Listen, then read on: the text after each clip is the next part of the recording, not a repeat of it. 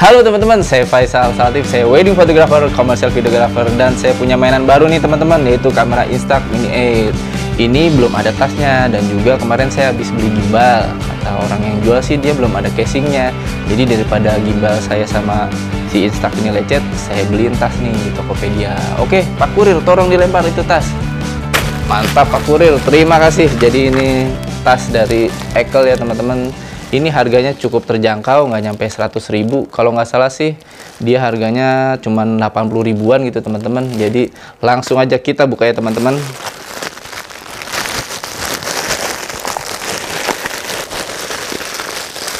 Nah yang pertama nih dia ada warna hitam teman-teman.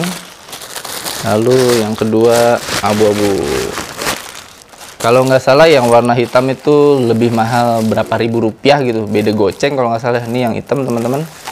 Bisa lihat tuh masih diplastikin kayak gitu. Lalu ini ekel yang warna abu-abu. Nah gitu teman-teman. Oke langsung aja kita buka yang abu-abu dulu deh teman-teman ya. Ini biar tidak mengganggu kita taruh bawah dulu. Langsung kita sobek aja teman-teman Nah ini, wah ternyata saya kira bahannya cupu teman-teman. Ternyata bahannya bagus juga ya, walaupun harganya nggak nyampe 100 ribu tuh. Tasnya lumayan kayak harga 100 ribu ke atas teman-teman. Ini resletingnya juga banyak banget ya. Oke kita lihat depan dulu nih. Depannya kayak gini dia ada logo apa nih di sini ya? Bisa buat storage power bank, adaptor sama segala macamnya. Kita lihat atasnya nih ini dia ada handle-nya teman-teman di sini. Jadi buat bawanya nih handbag gitu ya jatuhnya ya. Bisa dibawa gini sampingnya nggak ada apa-apaan lagi. Bawahnya juga nggak ada apa-apa. Oke kita buka resleting pertama nih. Kita lihat resletingnya tuh bagus nggak sih? Wah resletingnya sih lancar teman-teman ya. Jadi walaupun harganya nggak nyampe 100 ribu ternyata lancar nih resletingnya mereknya sih nggak ada sih. Saya kira YKK atau apa gitu tapi nggak ada mereknya tuh si resletingnya oke kita coba slot pertama ya yang atas ya. Ini dia ada apa aja sih isinya? Nah ini teman-teman tuh bisa teman-teman lihat banyak banget ya di tempat penyimpanan ya. Jadi di sini bisa buat taruh baterai atau memori atau apa banyak deh teman-teman. Ini juga bisa cantolin gitu. Ini misalnya nih saya cantolin granat. Tuh ya nanti bisa buat naruh yang lain deh jangan granat. Oke kita lihat lagi dalamnya tuh ada apa aja sih? Nggak ada jadi cuman resleting ini sama ini nggak ada resletingnya nah di sini ada lagi tuh tempatnya tuh teman-teman. Jadi emang ini dikhususkan kayaknya buat naruh baterai gitu deh. Soalnya sih seukuran baterai nih jadi buat naruh baterai di sini teman-teman. Tuh ada tiga slot di sini juga ada resletingnya jadi buat teman-teman yang seorang fotografer atau videografer yang banyak bawaannya bakal lebih rapih nih pakai tas ini nih teman-teman. Cakep banget. Oke kita buka selanjutnya nih resleting nih. Jadi kayak bekal ya. Kayak tas bekal. Wih ada paddingnya ternyata teman-teman nih. Paddingnya kita coba lihat ya. Kalau yang tadi ini banyak portnya nih yang pertama kalau yang kedua tuh cuman ini doang nih teman-teman tuh ini satu slot sini. Ini bisa buat tablet nggak ya?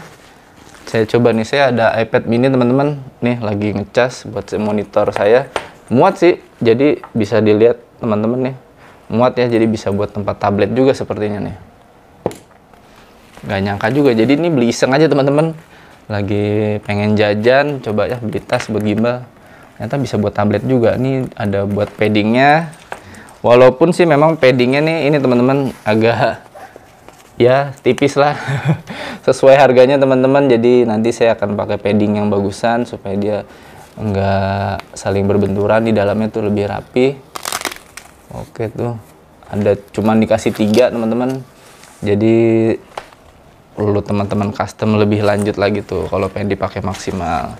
Kita coba pasang di sini ya ini dia pakai velcro teman-teman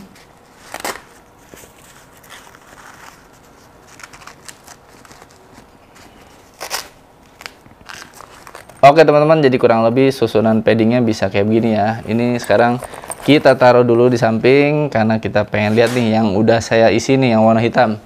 Coba terima kasih. Nah, ini jadi sudah saya isi teman-teman ya. Saya isinya tadi masih ngasal apaan aja. Jadi kita coba buka ini pertama, isinya apaan aja kah? Jadi buat teman-teman yang kerja di lapangan banyak bawaannya nah bisa diisi kayak gini teman-teman. Tuh.